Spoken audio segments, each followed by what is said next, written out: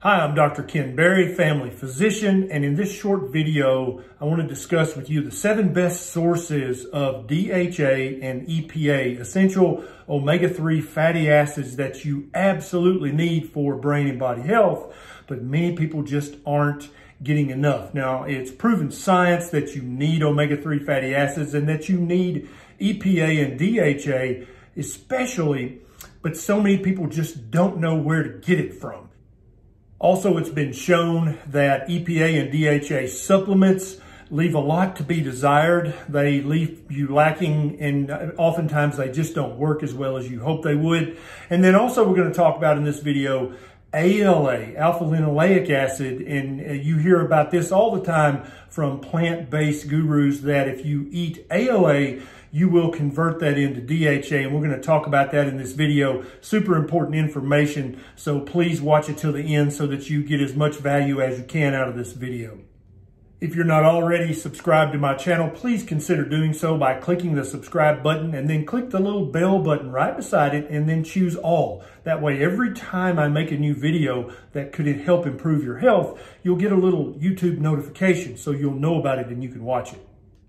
Before we get into the seven best food sources of DHA and EPA, I want to first go over the benefits of EPA and DHA. You may have heard of a few of these, but some of these are going to blow you away. I don't think you've probably heard of all these. First of all, for EPA, it absolutely reduces cellular inflammation. This is the chronic inflammation that makes you feel terrible and makes you die early. It can also help reduce neuroinflammation in your brain and in your nerves. So many maladies of modern society from fibromyalgia to dementia are caused by neuroinflammation. And these EPA and DHA are going to help you with that. It helps you maintain a healthy cardiovascular system, your heart and your arteries and your veins. It's absolutely vital to the mental and brain development and function of all human beings, whether you're a newborn and you're, you're eating formula or you're drinking breast milk, or if you're a great grandmother, your brain will function better. It will function optimally when you've got EPA in your system, in your diet, in meaningful amounts. Also, it helps you burn excess fat. Hey, that's not bad. It helps joint health. It helps repair and renew and rejuvenate your joints and it also helps to impair or to improve and help repair the brain. Now this, and so brain damage is improved by EPA. Now this doesn't mean that if you just, you know, if you had a motorcycle wreck and had brain damage, yes, it's going to help that as well, but also just the chronic brain damage that we get from living in our modern society. The benefits of DHA include, but are definitely not limited to, a decrease in your blood triglycerides, and an increase in your HDL. Eating a low carb keto carnivore diet moves all these numbers in the right direction, but DHA helps it even more. It is DHA is absolutely essential for proper proper nerve function, in your nervous system, both your nerves out in your feet and your toes and your fingers and your hands, but also the neurons in your brain function better when you give them the DHA they need and they deserve. It also helps fight inflammation. Both EPA and DHA are anti-inflammatory. Now, they're not going to fight acute inflammation, which is actually a good thing. It's the first step in the healing process. EPA and DHA are going to help fight chronic inappropriate, damaging inflammation, and we all need help with that. It also helps support muscle recovery. If you're starting to work out, DHA is going to help your muscles recover faster. DHA has been shown in multiple studies to lower your blood pressure. EPA as well. It can also decrease your all-cause mortality improve your risk of not dying. And also it's been shown in studies to protect your telomeres, which if you're in the biohacking or the life extension community, you know that the longer your telomeres are, the better you function and the longer you live. The second thing you should know about DHA and EPA is that they are essential omega-3 fatty acids. This means that your body cannot manufacture them you have to get them in your diet and you have to get them in meaningful amounts in your diet.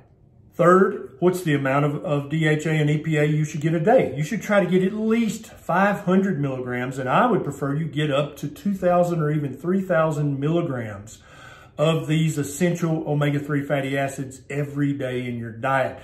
If you're eating the standard American diet, then you're not going to come anywhere close to that amount. A lot of people recommend supplements, but the problem is, is that supplements don't really raise the meaningful tissue levels of DHA and EPA like we would like for them to. We're not sure if it's the production process, the manufacturing process, the sourcing. We're not sure why, but the supplements, the fish oil capsules that you've seen so widely and heavily uh, advertised just don't work.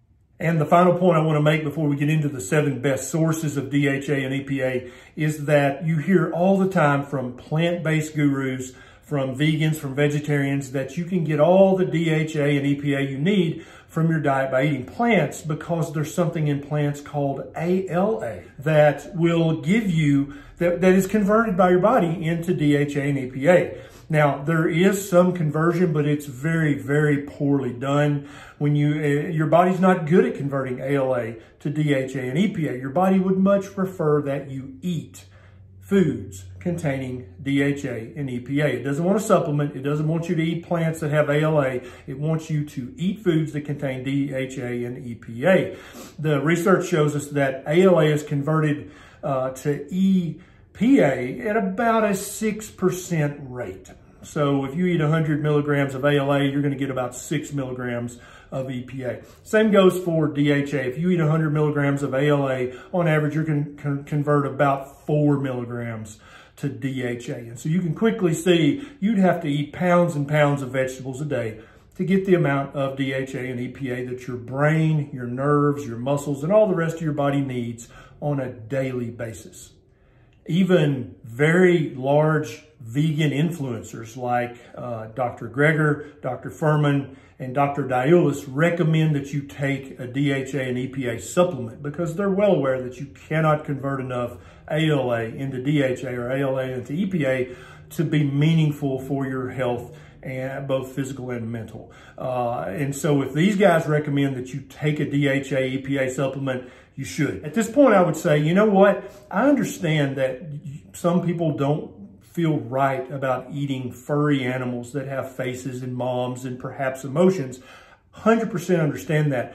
But you'll see from the seven foods I talk about below, you can get all the DHA and EPA and, and actually all the essential amino uh, fatty acids that you need without eating anything that's furry and cute and cuddly and has a mom and a face.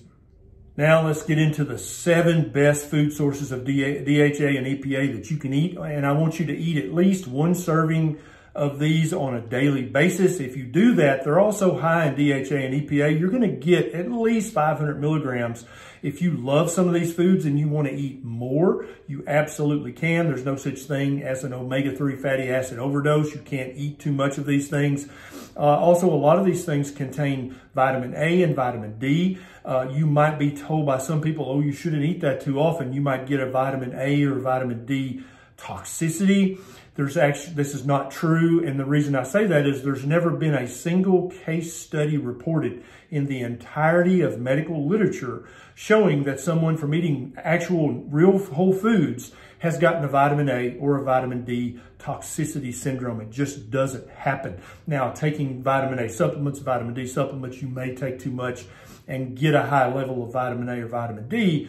Uh, also vitamin K and vitamin A, that can happen as well. But these foods, you, there is not a single case report in the entire medical and nutritional research compiled by mankind ever in the history of our species was that a little overboard? I, I want you to get the point. That's ever shown that anyone who ate too much of these foods got vitamin A toxicity, omega-3 fatty acid toxicity, or vitamin D, vitamin E, or vitamin K2 toxicity. It just doesn't happen if you're eating real food. Now the foods. Number one is mackerel. This is a small cold water fish chock full of DHA and EPA and it, it, it's it's very inexpensive. It's very easy to find. And so if you eat a serving of mackerel a day, you're going to get your DHA and EPA. Number two is salmon. Now, of course, you want to get wild caught, uh, sustainably raised and, and resourced salmon. You don't want farm raised salmon that's, that's fed crap. You don't want that. You want to get the real deal from the ocean. Uh, these are rich in the omega-3 fatty acids, DHA and EPA. Next is my favorite, fish roe, which is fish eggs. There are some versions of this that people call caviar. These are so rich in omega-3 fatty acids, the DHA and the EPA. Only a tiny bit is all you need every day. I actually mix this in with my mustard. There's multiple ways that you can use this. Uh, it is pricey, but you only need such a tiny amount that it actually becomes quite affordable to keep a jar of fish roe in the fridge and just take out a little a spoonful every day. Number four is cod liver. This is another, my second favorite. I love cod liver. It comes in a little tin like sardines or herring or anchovies. It comes in cod oil. And so the oil in there is not cod liver oil, it's just cod oil. And cod liver is very mild. If you don't like beef or chicken liver, cod liver is a great way to get the multivitamin that's in all liver, but you also get your DHA and EPA in just astronomical amounts. Uh, let me say at this point that you can also buy salmon oil or cod liver oil, and they're super rich in DHA or EPA and EPA, but they don't, uh, some people hate the taste of cod liver oil and salmon oil. I actually bought some cod liver oil. I'm going to put a link to everything I talk about down below. Uh, and I, I, actually like it. And so i t I'm taking a tablespoon of that a day if I don't eat my uh, sardines or my cod liver or my fish roe. Number five is herring, another small cold water fish. And you may be worried about mercury and other toxins in the ocean by eating these ocean fish. But here's the thing, all these fish that I talk about are either protected up in the, the, the, most northern latitudes and don't really get as much pollution, or they're very small fish and they tend to eat algae and they don't eat other fish. And so they're not very high on the food chain. And so I would avoid swordfish and other fish that basically live off eating smaller fish because they're magnifying the amount of mercury and other toxins in their flesh. That's absolutely true. But small cold water fish that don't tend to eat other fish, they don't build up the toxic amounts of mercury and other toxins that are found in our modern oceans. And so you don't have to worry about that. Number seven is my wife Neisha's favorite if you don't know my wife, she has a YouTube channel and other social media. If you'll just type in Neisha Loves It, you'll find her. She loves oysters. She loves them raw on the half shell. Her and I both together have probably eat, eaten a hundred thousand oysters in our in our lifetime. We've never had any problem with infection or toxins or anything else. They're very, very rich in DHA and EPA, and also they're a great source of zinc if you're looking for that. Now, some people don't like oysters, and I understand that, but if you, if you don't, if you've never tried them, please try them at least one time on the half shell with a drop of lemon oil and maybe a little horseradish. They're divine. Number seven is, uh, is sardines. Absolutely love sardines in the can. Do not get them in oil because it'll be either soybean or canola oil. And you don't want that. They're, they're way too rich in omega-6 fatty acids. Get them in water. And then if you want to add a good omega-3 rich oil to it, you can. But uh, sardines are great sources of DHA, EPA. They're super cheap. They're available in every super, uh, supermarket.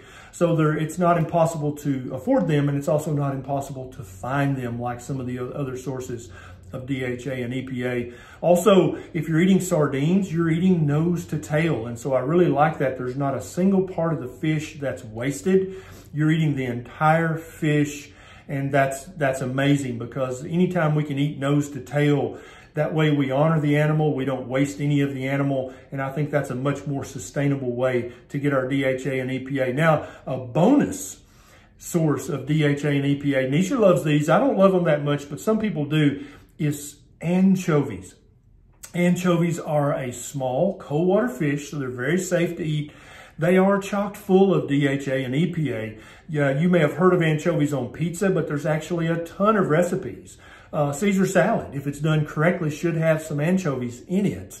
Uh, so eat, try some anchovies. And I want you, I want to challenge you that if you've never tried one of these on the list, I want you to try it at least one time because you might be surprised at how much you love it.